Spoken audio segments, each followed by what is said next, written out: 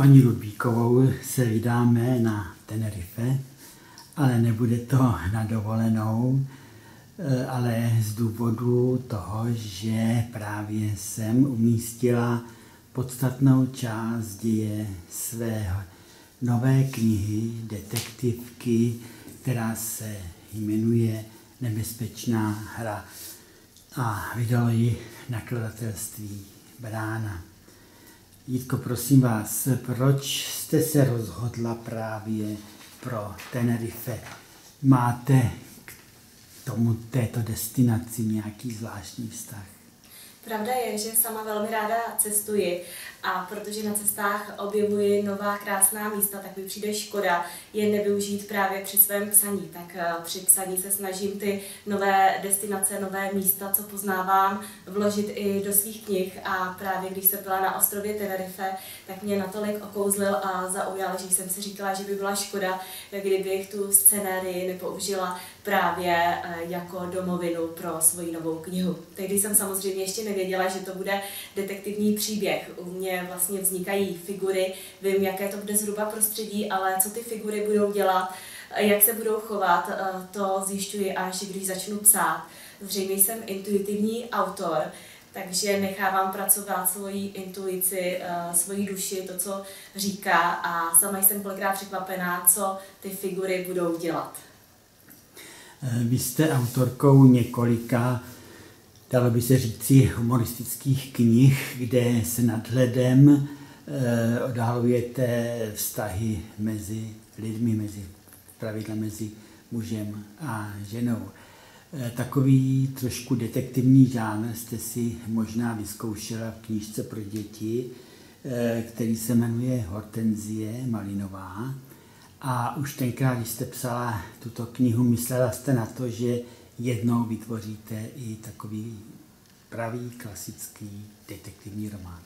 Já musím se přiznat, že obě tyto knihy vznikaly současně, ačkoliv vyšly postupně za sebou, tak se mi to tak prolínalo, že některé dny jsem pracovala na nebezpečné hře a některé dny jsem pracovala na dětské knize Hortenzie Malinová. Nicméně eh, potom to už je věc nakladatele, že ty knihy nevydá najednou, že je vydal eh, postupně. Eh, pravda je, že ta dětská kniha pro mě byla veliká výzva, protože přeci jenom při psaní dětské literatury člověk může nechat naplno proudit svoji eh, fantazii, což u té literatury pro dospělé čtenáře možné není. Tam jsou přeci jenom nějaké limity a přesně to nechat proudit naplno svoji fantazii v dětské literatuře, to se mi líbí. Tam jsem si to opravdu užila a tu knihu jsem si užila nejenom jako spisovatelka, ale i jako máma, protože tak trošku jsem ji uh, psala i pro své děti.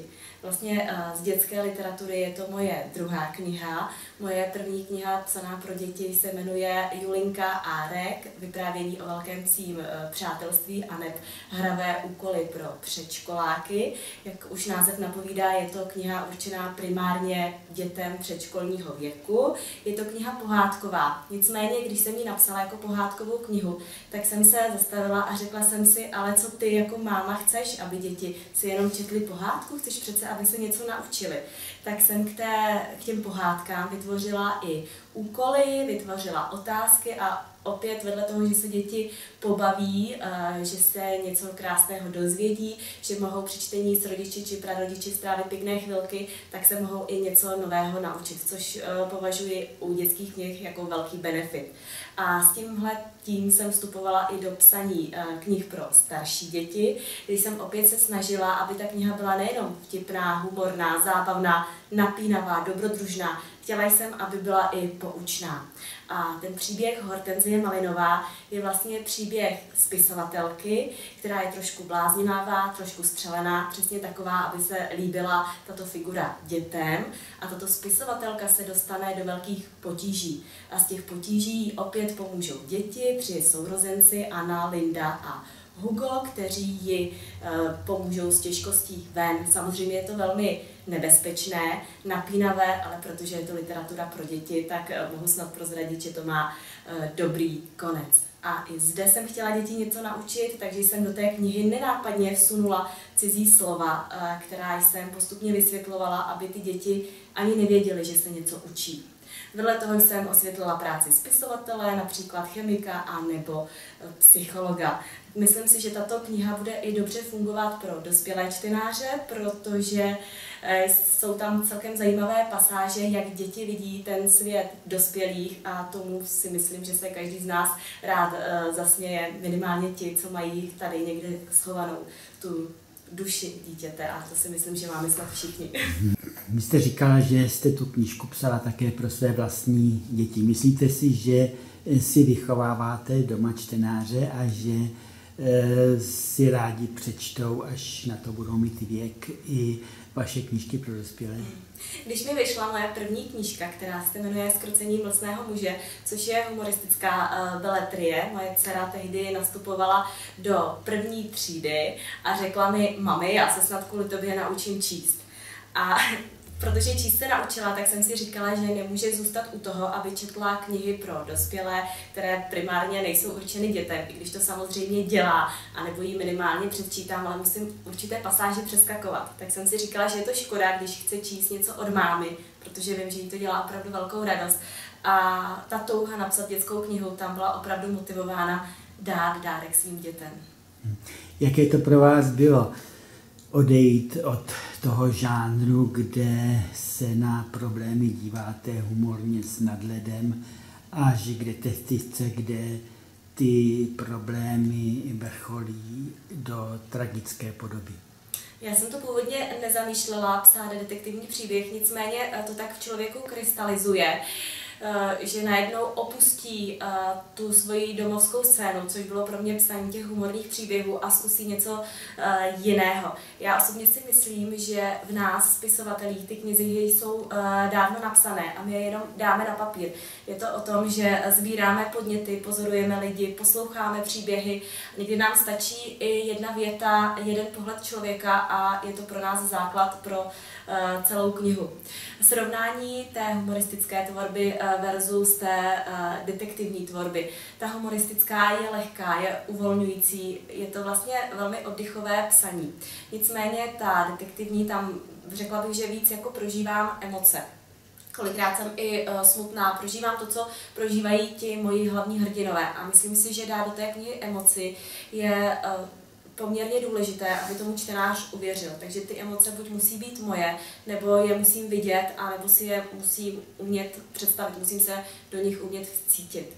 Navíc ta literatura eh, detektivní mi dává možnost větší fantazie a dává mi možnost vložit tam napětí, zrušení a to mě baví. Jak se rodil námět na nebezpečnou hru? Eh, vy jste zůstala u těch eh, vztahů mezilidských, ale to stvárnění bylo úplně jiné.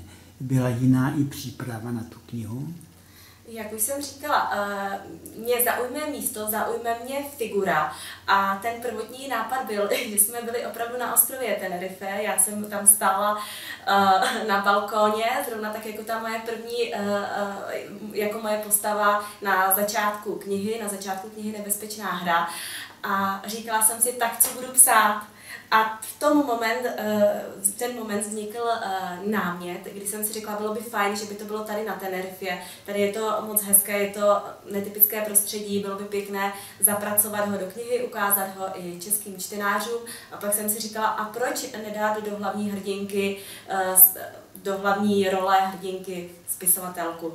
A tak to tak nějak postupně vznikalo. To, co se v té knize mělo dít a dělo, to jsem v té chvíli ještě nevěděla. To opravdu je věc, která se odvíjí, až když začnu psát, když mi to začne v hlavě postupně naskakovat. Já se musím přiznat, že možná vím, co budu psát další den, protože píšu pravidelně, ale co bude v té knize za týden, to netuším. Sama se nechám překvapit a myslím si, že to, že je překvapený spisovatel, docela i dobře funguje potom na čtenáře, že i sami tam mají zvrat, který vlastně třeba nečekali.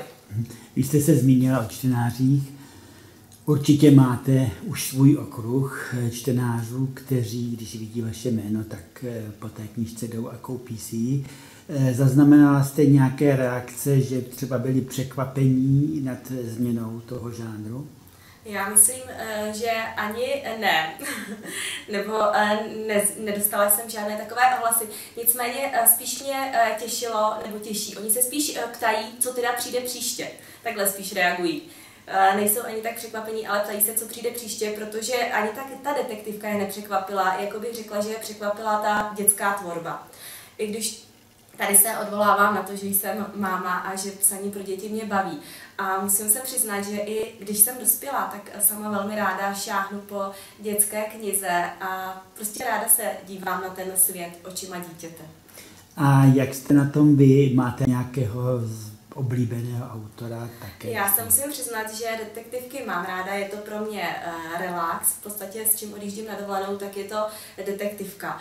Uh, pořád jako ten top u mě je Agáta Christie, to je prostě pro mě tu jsem milovala od dětství, obdivovala ji, obdivovala její tvorbu, tak možná i to byl takový krůček k tomu, abych to, tu detektivku zkusila. Nicméně ptáte se všeobecně na mého nejoblíbenějšího autora, tak můžu říct, že to je Roald Dahl a jeho perfektní satira ta, ta mě pohltila, tak kdybych byla z poloviny tak dobrá někdy třeba v té satyře eh, jako on, tak bych byla celkem spokojená. Eh, jinak eh, ráda, s čím ulehám třeba do postele, tak to už detektivky kolikrát nejsou, to třeba i čtu ráda odbornou literaturu nebo čtu literaturu z různých odvětví, abych přeci jenom si udržovala přehled, rozhled a přeci jenom se musím zajímat o různá témata, která potom mohu využít a zpracovávat ve svých knihách. Já bych se ještě na závěr zeptal, jaké máte plány, jestli to můžete prozradit, a jestli mezi nimi máte další detektivku. Pravda je, že v současné době pracuji eh, na přání nakladatele na pokračování detektivky Nebezpečná hra. Bude tam hlavní hrdinka opět eh, Monika Hrubešová, ovšem už děj se nebude odehrávat na Tenerifě, možná bych i mohla prozradit, že se vrátíme zpátky na českou půdu. Nicméně jsem teprve v půlce příběhu, takže sama nevím, jak to dopadne, nicméně už teď vím, že to bude velmi zamotané a opět tam budou hrát i ty vztahové vlivy, eh, vztahy mezi mužem a ženou, protože ten vztah muž-žena mě zajímá a je pro všechny mé knihy typické, ať už píšu humoristický příběh nebo detektivní příběh. Takže nadále se kolem mé hlavní hrdinky, spisovatelky Moniky Hrubešové, budou motat muži, kteří budou přinášet vlastně jenom potíže.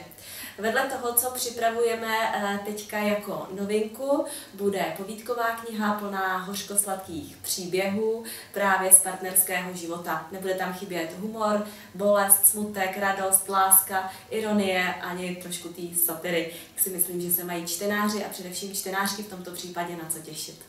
Já vám přeji, ať se vám práce daří, ať prožijete příjemné chvilky nad eh, rukopisem svých knih i případně na dovolené na Tenerife. Budu se těšit na výroze. Děkuji vám.